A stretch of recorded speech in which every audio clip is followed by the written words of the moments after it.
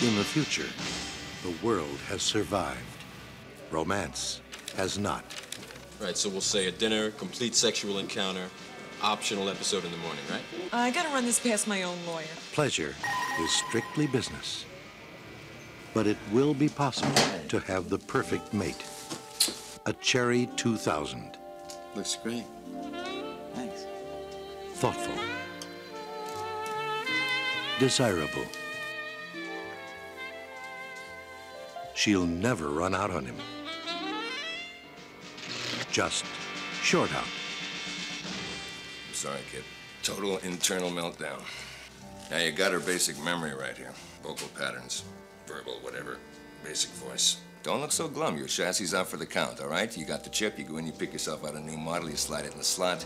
You got yourself your girl back in a brand new frame. Give me a call if you find a Cherry. Cherry 2000. Look, my friend, you're gonna be a very old man, round in the middle and bone dry before you find one of those in these parts. That's a chance I'll just have to take. Then the adventure begins. Why don't you hire a tracker to go into Zone 7?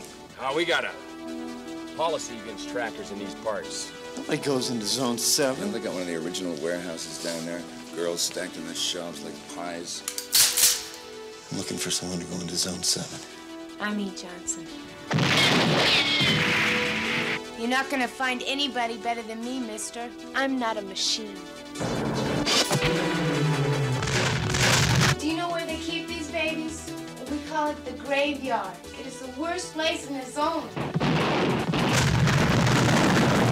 Well, maybe I can get in there and find this thing, but I need somebody riding shotgun in order to make it out in one piece.